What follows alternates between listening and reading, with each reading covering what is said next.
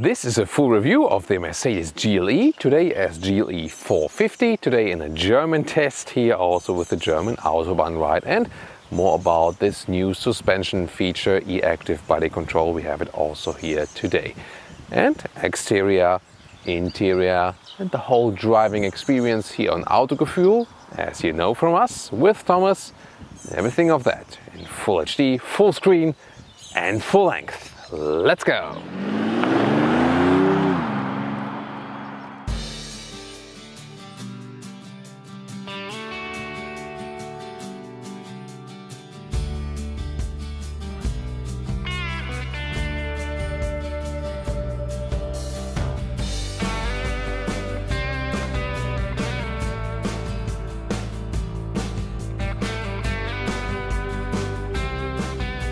Front here, the new GLE generation looks a little bit sportier, more agile also with the accentuations here on the hood.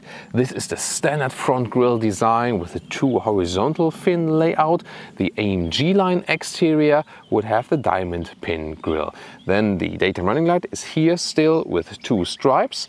They changed that with the E-Class facelifts, for example, with the sedan and recently also then now with the coupe, but still here the SUV in the GLE gets the two stripe design. I think more beautiful.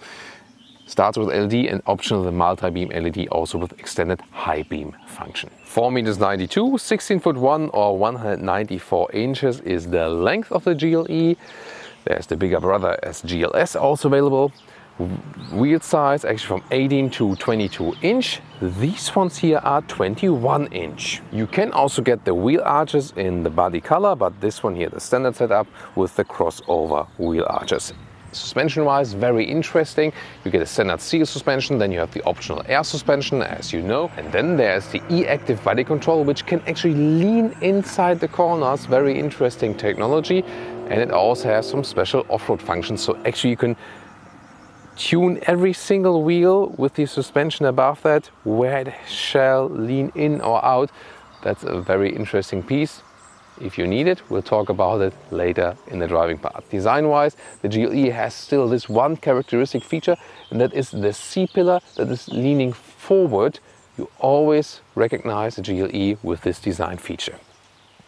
The rear has actually been changed most significantly in this new generation with the new horizontal tail lamp design and the signature right there and definitely more modern. The lower part, by the way, these ones here are fake tips, but it's not like a 100% fake exhaust. So yeah, I'm not sure if that's a job for the fake exhaust police. I think still yes, yeah. so the real exhausts are then on the inside. But overall, I think a quite likable design here for the GLE. Rather conservative still, not too drastic changes. I think it works. What do you think? As for engines, you start with a 2-liter 4-cylinder, the 350 with 255 horsepower. That one is available in the US, but not on the European market. Then the 450, today also here, the 3-liter 6-cylinder, 367 horsepower. Now with mild hybrid technology, 5.7 second the acceleration figure. Also available with the off-road package. Then there's the AMG 53 3-liter 6-cylinder 435 horsepower.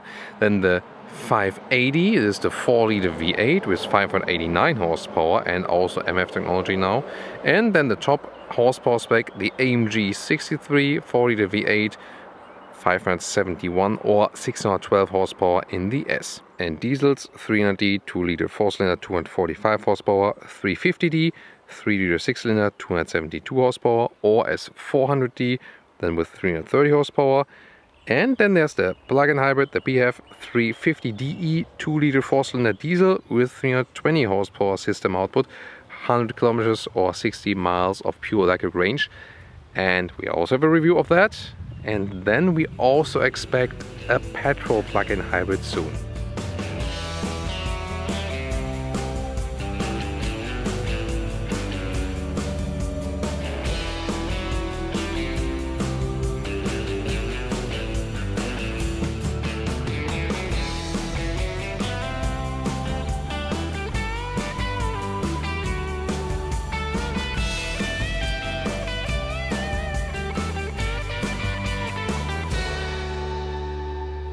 Door closing sound.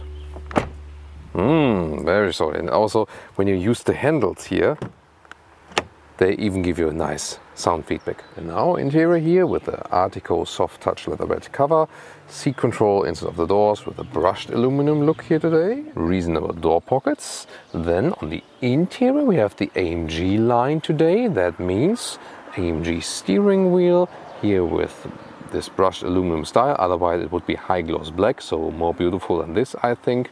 And AMG floor mats, aluminum pedals and here the sport seats, so there are base comfort seats available and these are the sport seats with a little bit more support. And AMG line auto automatically comes with microfiber dynamic on the inside and Artico leatherette on the outside. So this is an animal-free choice and also good in the climate comfort. In the European market, actually, my pick would be either this one also or fabric on the inside and leatherette on the outside because the gray fabric looks a little more contrastish and stays even a little bit cooler in summer. But for the US market, I would definitely go for this one because the fabric is not available there. Or if you want some spilling protection, have a lot of kids or something, then of course a full Artico seat is also available with a slick surface in black, in beige, in espresso color. So they offer a lot of animal-free choices. That's really very cool with the GLE. And one of the other cool features is the ambient lighting. Here's one of the key features of that. Getting inside and yeah, shoe tap.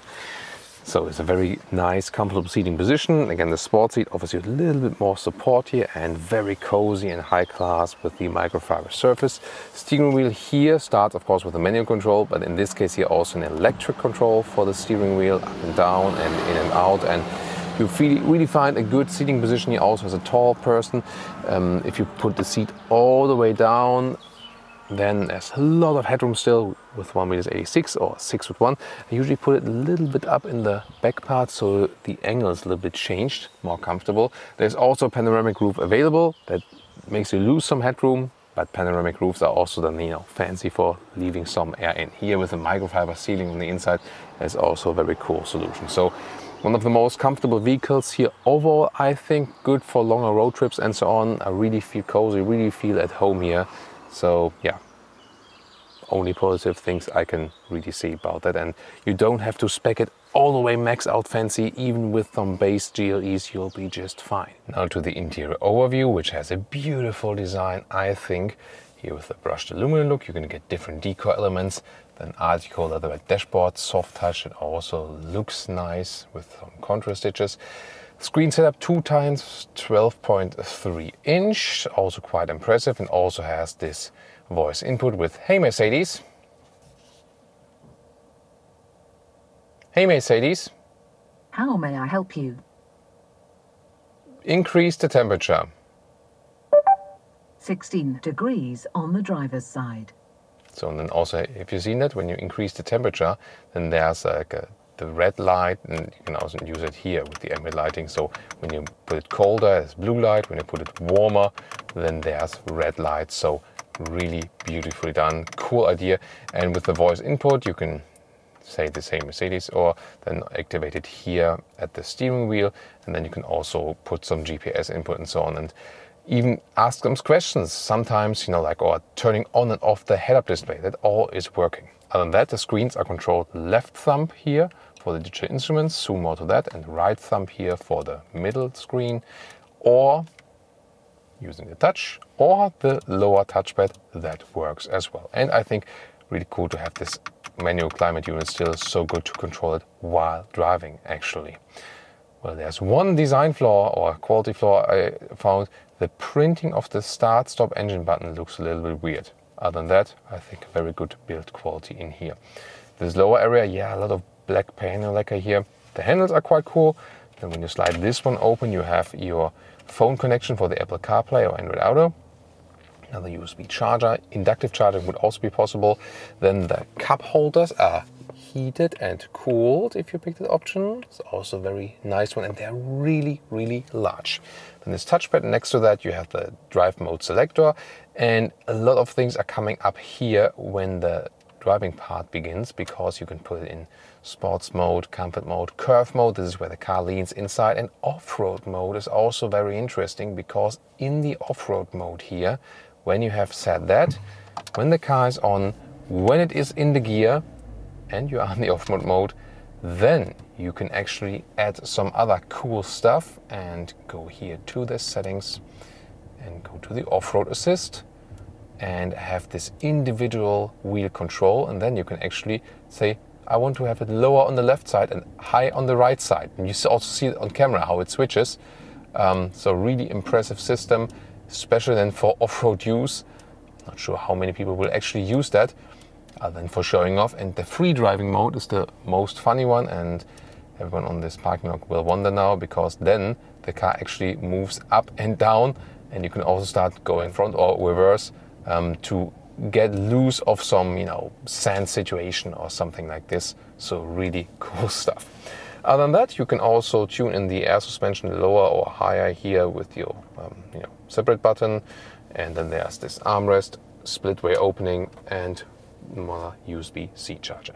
Just to show it once more up close here again there it is where you can control the individual wheels also in the rear for example like this and then here with the free driving mode you can pick that other than that it's a really good system it has a nice overview where to find everything the apple carplay um, actually you can have it here right there that's a, such a great song there's the integration and the sound we don't have the top audio system here, but this one always has a nice one sound. Wow, cool.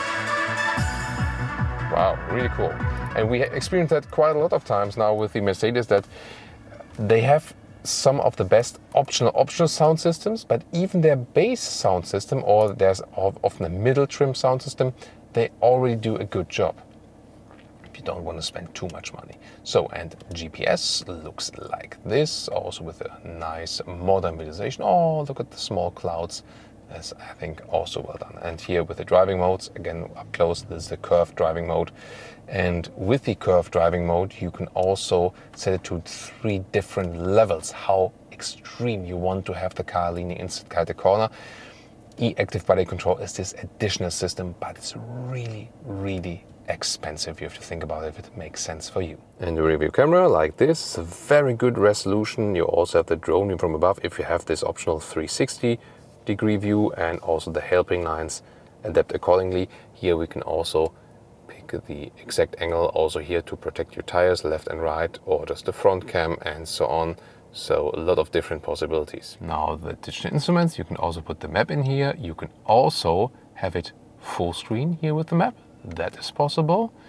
So you're really flexible with these digital instruments. They also have a clear display. You can also go to sports gauges, for example, and you can also switch some individual information you want to see left or right, for example, or then again in the middle. Here, for example, you can also switch to left gauge like this, and yeah, you can play around with that pretty a lot. And head-up display with the huge projection, current speed, loud speed, or the direction you're going. And you can also adjust which parts you want to see there. So a very flexible system and again, a very, very large projection. It's even larger than it appears here on camera. Rear compartment, also soft touch Artico at the inside of the rear seat. It's really cool inside the rear seat door. And then What's cool here is you have about the best legroom in this very segment.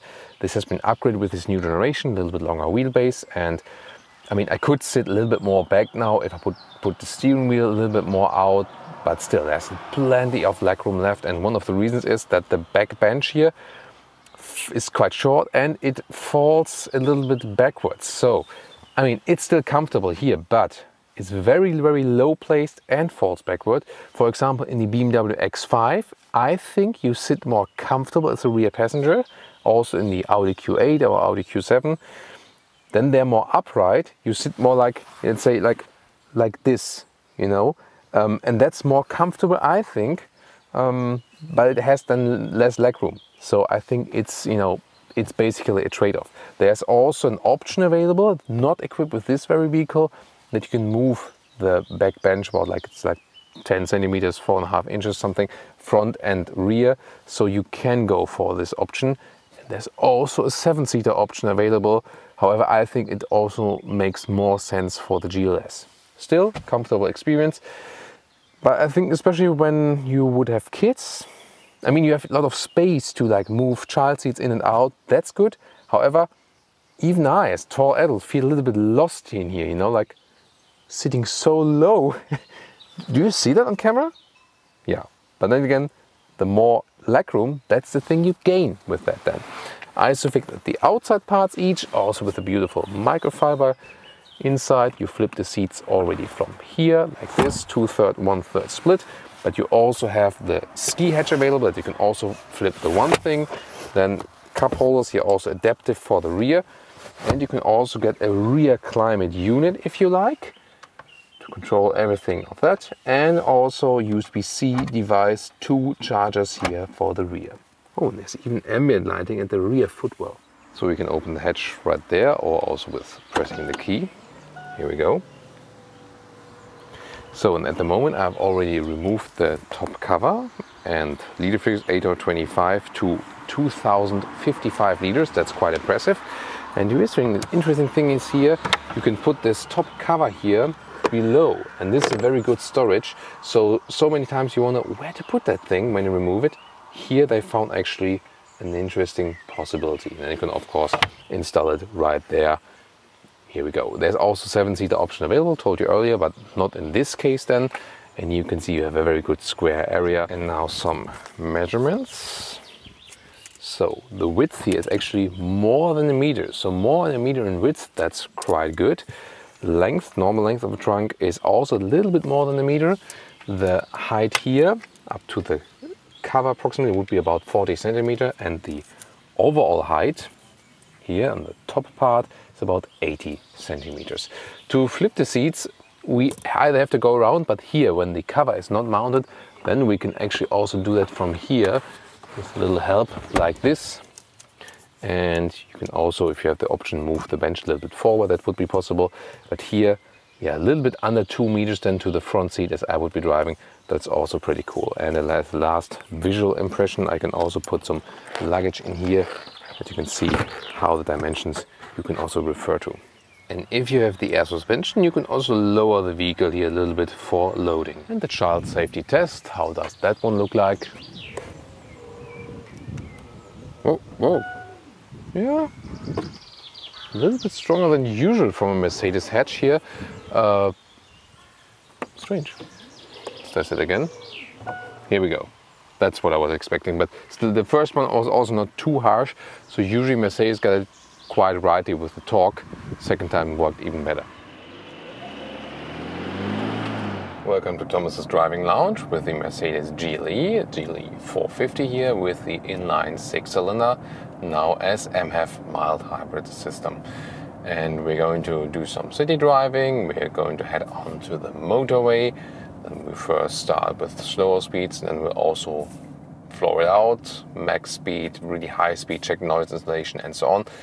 And so different aspects coming up here. Interesting here, you can see the camera side here on the center display, and this actually always happens. You can turn off and on that function when you're approaching the next traffic light and I mean, here in the GLE, it's not that critical because the windscreen is quite high. But for example, in the CLA, um, that was very relevant, this function. It is meant to be a traffic light visibility. So sometimes, you know, traffic lights are placed way low and then you have to like, where is it? I can't see it. And that way you can just sit like this, all good. Then you can see the traffic light jumping to green here on the screen yeah, it's some kind of decadent function, but you know, again, for vehicles that have very low windscreens, that might make sense. Why not? Very interesting. So we have 21 inch wheels mounted here, so rather bigger ones. That of course reduces the comfort a little bit. Um, you feel it in some smaller bumps on the road, so if you want more comfort, then go for smaller wheels. However, there is the air suspension mounted in here, and that is still set on a soft note, which is pretty cool. Like it when air suspensions are still set on a soft note, and that is the case for the Mercedes non-AMG models. If you pick an AMG model with air suspension, then they make it that stiff that you can't really feel it's an air suspension anymore. But to me, the GLE, one of the best comfort rides overall, actually. So one of the most comfortable cars to me. Then again, with the combination with the Dynamica Artico seat, also keeping me cool in summer and warm in winter. It's a very good choice. And the seat form itself, here also from the sport seats, is still very comfortable and you have a little bit more side support in this case. The car is also extremely silent, very well insulated. We'll soon experience that, how it looks like when we are at really higher speeds. The steering is actually rather soft and not too direct. It does not have any dead angle, that's good, gives you a good feeling. However, Mercedes has the philosophy of not making them too progressive, so you have calmer running straight, and then in corners you have to steer a little bit more, but that's just a matter of preference then. Seeing here, told you earlier, the AMG steering wheel here with the, you know, sportier style and the, let's say, brushed aluminum look right here. AMG line also because of the seats. Interior, didn't have it on exterior. So, different suspension modes we have also for the air suspension. So when we go, for example, to the sports mode, suspension gets stiffer and, not sure, maybe if you also hear that, the gears are turned up higher in this case also so um, we can experience that on the motorway. This is really for sport here driving. This 3 liter inline 6 cylinder does give you quite some good performance, definitely. Told you the figures earlier. And also has actually a decent sound still. And with this new MF technology, on the left gauge you can see EQ charge. So at the moment I'm going downhill, the car is recuperating so gaining some energy.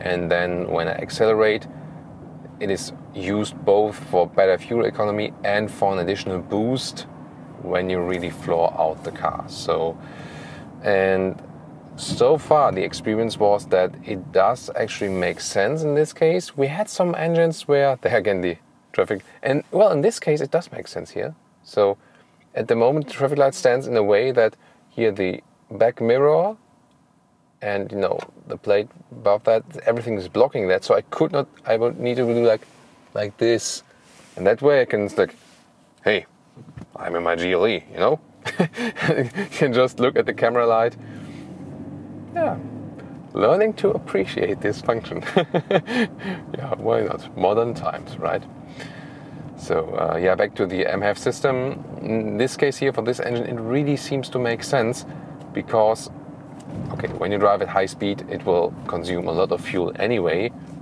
Um, then you can also score some 12 liters or more kilometers. That's no wonder. Then the MF system also doesn't help. But especially here in city driving, oh, look at that. You see the white vehicle?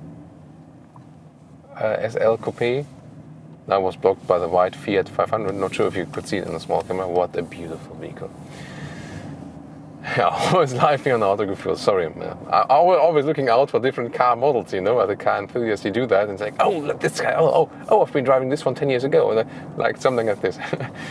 so the MF here, especially here in city traffic, stop and go, it really works and can get us actually down to about 9 to 10 liters on 100 kilometers, which is excellent for a vehicle of this size and this size of engine, which would be about like no 25, 26 mpg US, even some 30s mpg UK.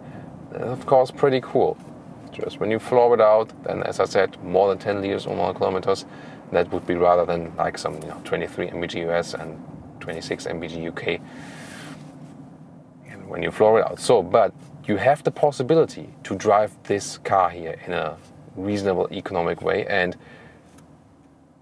again if you if you're gentle with the vehicle, you can score equal consumption figures here with the 3 liter 6 cylinder, like with the 2 liter 4 cylinder. That shows again, downsizing is just using on paper. It's not making sense for the environment, you know, in a practical, effective way. At least is for 6 cylinders. The 8 cylinders, however, they consume way more fuel than the 6 cylinders. So, to me, from my experience, the 3 liter 6 cylinders, also different brands, seem to be the best engines, consumption wise, power wise. You know, you just run them at lower RPMs. That also makes sense and also good for long term durability. Now I'm switching to the sports mode and do some first acceleration from 50 to 80. Plop, that's it already. But that was a little bit. You realize that?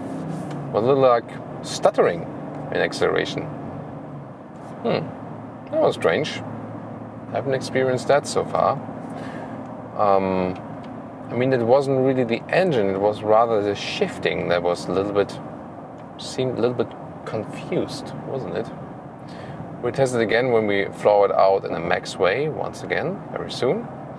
Now the first motorway test, 80 kilometers an hour so far. Cruise control you set here on the left side of the steering wheel. There's also the adaptive cruise control built in here and also this maxed out with the assistance systems. So we also have the active lane keeping assist, and we'll see. Um, it tells me that it actually works. It depends on sometimes here in the yellow construction site markers, the systems work, sometimes not. Of course, I'm know, really cautious here doing doing these tests here, but so far, so I'm not steering at the moment. Now it's telling me I need to move the steering wheel, not capacitive yet, so it has a movement sensor, no, not, not a touch sensor. But here, keeping me in the lane, in the construction lane here, and I mean, it's a very narrow lane for this not so small car. Wow, that's well done. Awesome. Cool. So that's really cool. I mean, those tricky situations are then, in a way, always good to test them right here as well. There's also blind spot monitor built in the side mirrors. So triangle, small triangle. Let's see if we can use it very soon when vehicles are overtaking us. So I'm always picking the left lane here because you can drive 80 here and 60 on the other lane. And Then he there, there it's going to 80. a little bit faster on, on this lane here. Pretty funny. So assistance systems wise, good impression so far. Um, also, autonomous emergency brake is standard anyway, and then the upgrade assistance systems you can get into you know into another pack, optional package. Different driving modes, by the way. Here again on the motorway, I would rather set it to the comfort mode to have like this floating air suspension style. And here, when the road is even, the 21-inch wheels also are no problem. Just when some bumps are appearing, then you feel the the size of the wheels other than that, I really love that air suspension that is built in here. Such an awesome ride. So what's that here? Not sure. But that's uh, giving us a good possibility to test the blind spot monitor, which should appear right now. Yeah, there it is, red triangle. And when I set the turning indicator, it should change something, but it doesn't. Hmm. Well, in this case, just red triangle appearing. Sometimes it's, it's the case, that when I set the turning indicator, there's like an additional warning, but I wonder why isn't that the case in this this case. I'm not sure if you can deactivate it in the menu or something, but here in this case, just a red triangle. Anyways, here the adaptive cruise control, setting it now to 100 kilometers an hour. Again, such a perfect silent ride, awesome, really comfortable on the motorway. Now keeping the distance to the car in front of me. And another very interesting mode is we not only have the air suspension here, we also have the e-active body control, which is enabling us with this curve mode. And in this curve mode, the car is evening out the g-forces by leaning into the corner like a motorcycle. And so when I go here now, the car is upright still.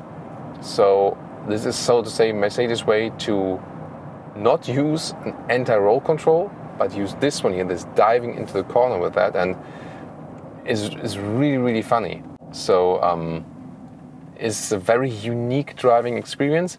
We'll soon head onto the motorway again. I just want to give you more acceleration. Yeah, there again the camera picture, and when we are you know on, on rolling onto the motorway, I can do some left right, and then maybe you can see. It's really hard to see on camera. It's more like you experience that yourself. Um, but it's really like when you are in this slalom, the car keeps really upright and doesn't lean to left and right. And that's part then again of this curve system that the car is evening out the G forces. Really amazing. But here we go to the Sports Plus mode now and really hammer it out. Let's see about the acceleration of this engine and also then about high speed noise insulation. 30 kilometers an hour, let's go!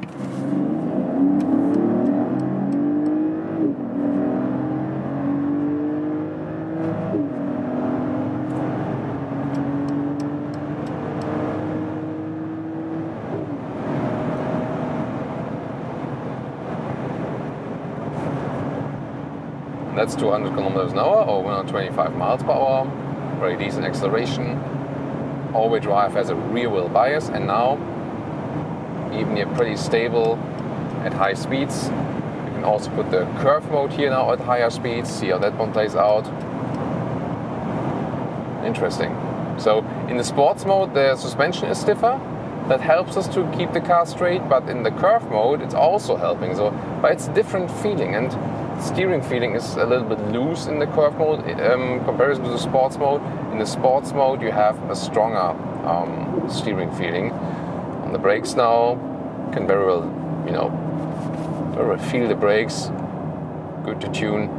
Uh, however, you feel the weight of the car. I mean, it's a big SUV, so that's no wonder then. Also, more decent sound in the Sports Plus mode from the exhaust and I think again that this six cylinder is a very good compromise. You know, it's not too much over the top like the eight cylinder. Still, you can drive it in a reasonable, economic way. So, I think that's the, the engine to go for, definitely. And as I told you earlier, in city driving, it also makes sense, sense consumption wise because you can use this recuperation and so on. You know, in the tunnel, you can see more of the ambient lighting once again right there that's beautiful, so beautifully done. So I always enjoy night riding in these vehicles. Definitely here with the ambient lighting and there, and also here in this area. Really, really cool. See again when I hit the throttle. First, the EQ power is being used because there was some energy left. So sometimes when you're rolling or just accelerating a little bit, again you get this help. And this also explains why the consumption can be put down. Of course, after like a big acceleration like this now, does look different, but you know, that's also no wonder. So when we get off the motorway now, I'll um, show the curve mode once again. The interesting thing is you can set it actually how extreme it shall react. So one, two, three, so three levels overall you can set for that. And level one would just be you know, like that you hardly feel it. Level two would be then a little bit more. Let's see, we go to the curve mode. So they can show the, actually the difference. So level one again, um, this is just slightly, you don't see it. You feel it a little bit, but you can't see what the car is doing. In level two here now, um, it feels more extreme, so to say, and more unique. And you already see it with your own eyes that the car is leaning a little bit into the corners. And Level 3 then is even more and this is really a very peculiar driving feeling because yeah, it's really hard to describe, you know. So when you're going like some left and right, you can almost shake up the car yourself, but not in the usual way. You know, usually when you do like fast left right, it would be like the car like but in this case, it's that the car is like doing these movements you know, especially with the, the, the front, especially dips a little bit in. So it's like the, you know, like the opposite side. So it's a very funny, unique driving experience, especially if you set it to lean level three. And I mean, it. I have a little bit mixed feelings about it because the driving feeling is so unnatural and unlike everything you know then again, you can also argue for it that the G-forces are being like covered for you, and especially then for the passengers, since you know as a driver you can always hold onto the steering wheel, but the other passengers can't. Um, I'll soon turn on turn left and then see if I can also do it a little bit faster. May, maybe you can even pick that up on camera how the car is leaning then in, inside the corner. And to me, as a motorcycle driver, I yeah, always like some motorcycle uh, quotes, or so to say, when, when cars do that. So now we have some nice corners up ahead, and now we're at level 3. And doing some left and right. This is so funny. yeah, when the car dips in on the other side, and when you are in the corner, actually, then usually the car would go to the outside, but you've maybe seen it, it really keeps all the way straight. You know, because then there's again this, this one force against the other force, and use the force, young Padawan.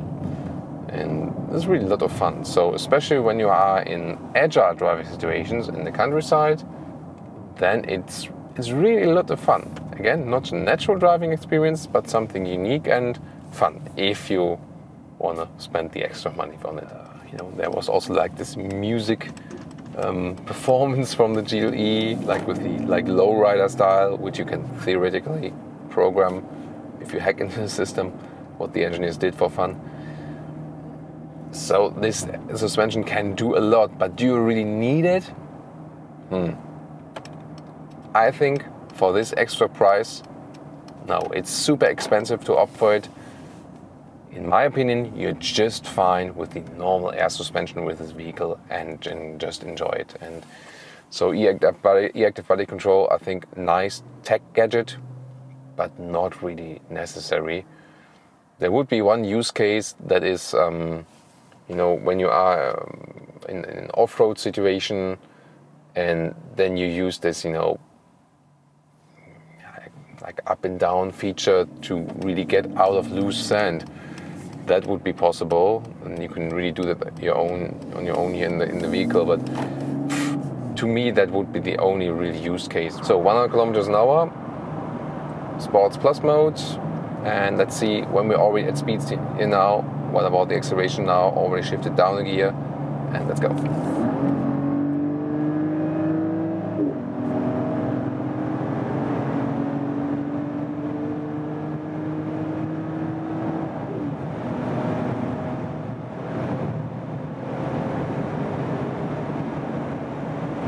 That's 200 once again, 200 kilometers or 125 miles an hour, and once again the noise insulation. I mean, we are in an SUV. This is like a driving cupboard, and it's still reasonably silent here. This wouldn't be a typical speed, of course. Um, let's go back to the comfort mode and go to a rather typical speed, which would be, for example, let's say 130 kilometers an hour, which is a reasonable motorway speed. And here at 130 kilometers an hour, super silent, very decent ride. I love that. So definitely still one of my favorite SUVs. Also, especially one of my favorite cars overall as for the comfort, suspension, and seating wise, and so on. Once again, really enjoying it, and would be one of my first picks actually if I think about doing longer trips, like a holiday trip, a road trip, and so on. So, and let's keep it up here now. Seeing once more in the curve mode. Yeah, it's re really so funny to drive this curve mode. The car feels way different in the Indeed, you know, more like a motorcycle, more or less. If you can talk about that when driving SUV. Um, yeah, but again, I think it's not a must-have. It's when you have some money to spare and yeah, just want something very interesting technology wise. Here at some lane changes, you maybe feel that. Um, sometimes it's feeling also a little bit aggressive, you know. Only when you you know turn the steering wheel a little bit more, just feels a little bit sportier than overall. For the co-driver, it can actually make sense even more because as a driver, you always hold onto the steering wheel and even out the G-forces by that somewhat co-driver does not hold onto the steering wheel, so this curve mode could especially serve the co-driver. But that the air suspension is shaking up everything, you know, that would, to me, be just enough. And then you're also not changing the driving modes all the time, all over again. So yeah. Now again, a little bit more silent driving, 80 kilometers an hour. Also, the visibility in this vehicle is awesome. So upright windows all around the vehicle, also the rear. So although it's not a small vehicle, I have a great visibility. I really exactly know what's going on around me. And also the visibility of the head-up display is great. You know, it has this zoom function or like standard setup that's really huge in your line of sight. So yeah, it's really hard to find something negative with this car. You know, there was this story that they had a wrong supplier or wrong suppliers. Um, they're built in the you know in the US here, the the GLE and the GLS, and they obviously made some bad contracts with bad suppliers, and then they had um, quality problems. And all the GLE and GLS they were sent to Germany then to be retrofitted with you know better tech, and they were kind of yeah, let's say repaired. Um, before they, uh, most vehicles before they actually went to the customer, then they decided to um, fire some people in um, in the management um, and then change the suppliers. And they say now everything is fine, you know. But yeah, stuff happens, and especially when they're searching for cost savings. You know, manufacturers nowadays their margin is slipping away. They're searching for cost savings, then maybe pick um, cheaper suppliers. Um, yeah, but you see that can also fire backwards if they do some stuff like that. And obviously, they went back now to a little bit more expensive suppliers, less margin, but then again, better quality for the customer. And you know, after all the test cars we have done here, if I compare them, the US built cars with the German built cars, I couldn't really tell, you know. So um, when they have the right suppliers in place and the same um, you know, quality management systems, I wouldn't really see anything where I could say, oh, this is now like a US build or something, you know. The particle filters, that is different, you know. So this is also maybe one of the reasons. Um, not sure if, if the first engine we tested was already with MHEV at that point. I'm not sure. I think not, but didn't have a particle filter. And when they don't have the particle filters, they also consume less. And again, particle filters are of course good for our breathing. Yeah, it's always a trade-off, definitely. So very interesting driving impressions here once again from the GLE, and yeah, probably here the GLE 450, and also with this interior setup here with the seats. Unless you are in Europe and can also pick the fabric um, Artico mix, which is like the fabric stays even a little bit cooler here than the Dynamica this configuration we have here today, probably one of the GLEs then to go for. What do you think?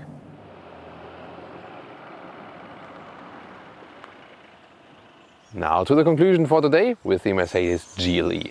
Still one of my favorite big or full-size SUVs because it does give you this air suspension carpet ride driving feeling, very comfortable in the seating position, very good in the seating choices for the sustainable animal-free options, and also, especially if we pick a little bit, you know, a smaller wheels than we have here today, the overall comfort it delivers you. Nice styling, not too much over the top, quite sensual. Here in this new generation, a little bit sportier in the design. The interior with a nice build quality and also especially very cool ambient lighting. That's one of the features I like best actually with this vehicle. Nice voice input you have there, actually the best on the market at the moment and the offering of space is also quite good. Seven-seater option is available, as I said earlier. Doesn't make too much sense. I think then you would rather go with the GLS to really make you know use of out of it. E-active body control, yeah.